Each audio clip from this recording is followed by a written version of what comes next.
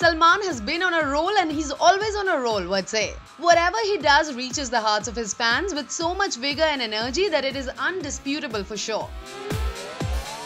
Recently, Salman's Limca ad was doing the rounds online, and boy, weren't we oh so stunned by Bhai's looks.